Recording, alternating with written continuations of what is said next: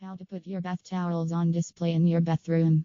Apart from your bathtub or shower, your towels take center stage as some critically significant stuff in your bathroom. However, it can be hard to figure out just how to ensure they add to your complete design and space decor. Do not panic. You have numerous ways to hang your towels in your bathroom that you got from a bath towel manufacturer, so they get wonderful air circulation whilst still improving the complete ambience of the room. Beneath are some popular ways to let your bath towels be the main attraction. Attach towel hooks. Towel hooks can go on walls and doors, making it doable for you to put them in a position where you may need to take a towel. Just ensure you choose hooks that are sturdy and large enough to hold one or two wet towels. Try not to burden a hook. It is better to purchase and install multiple towel hooks in a smaller bathroom than to impose several towels on one hook. Use a detached towel rack if you have a roomy bathroom. Think of using a detached warming or regular towel rack.